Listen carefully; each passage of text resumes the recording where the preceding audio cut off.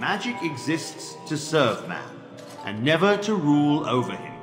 Thus spoke the prophet Andraste as she cast down the Tevinter Imperium, ruled by mages who had brought the world to the edge of ruin.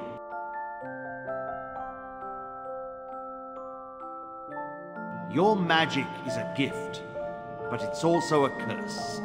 For demons of the dream realm, the Fade, are drawn to you and seek to use you as a gateway into this world.